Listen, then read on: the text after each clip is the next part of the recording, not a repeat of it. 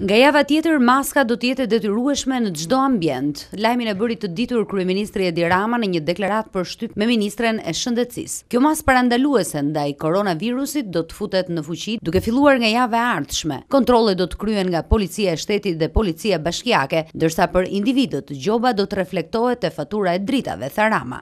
Maska do të jetë e detyrueshme në çdo mjedis, në çdo rrugë, në çdo hapësirë publike dhe masa ndëshkimore do të zbatohet për të gjithë tek fatura e dritave.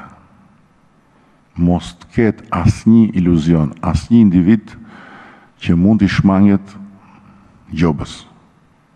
Unë mendoj që gjoba duhet të jetë e fundit dhe nuk duhet të jetë gjoba arsyeja pse njerëzit duhet të vënë maskën, por duhet të jetë mbrojtja e ekonomisë së tyre familjare. Nëse për shëndetin, fjalët nga një vesh ju hynë e nga një vesh ju dalin.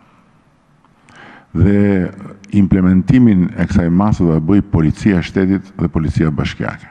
Rama theksoi se do të ishte e papërballueshme një karantinë e dytë për vendin, ndërkohë që shumë shtete të tjera janë duke u futur në karantinë të plotë apo lokale, sipas kryeministrit, tarët duhet të marrin në konsideratë vështirësitë që sjell një situatë si kjo e pandemisë duke rritur ndërgjegjësimin. Por nëse në disa vende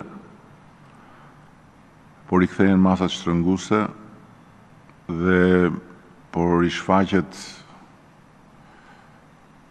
kërcënimi i një karantine të përgjithshme, ajo çka ne duhet me çdo kusht të përpiqemi së bashku dhe të parandalojmë është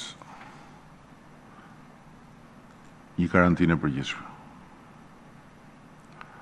Një karantinë e përgjithshme e dytë do të ishte tejet e vështirë për vëndin, për ekonominë e shumë familjeve, dhe patjetër edhe për shtetin. Një mbyllje e përgjithshme nuk do të kursejë askënd, kështu që më mirë sot të hedhim një hap tjetër, të jemi të gjithë bashkë dhe solidarë sesa nesër të gjendemi brenda mureve dhe të shikojmë rihapjen e kanalit prej nga do të rrjedhin në drejtim të paditur të ardhurat e familjes. Mos harroni që kemi angazhuar gjithçka për të përballuar pasojat e tërmetit, vijoi Rama, duke lënë të kuptohet se arka e shtetit është e ngarkuar me këto shpenzime. dhe do të ishte i pamundur përballimi i një mbylljeje tjetër, përfundoi Rama.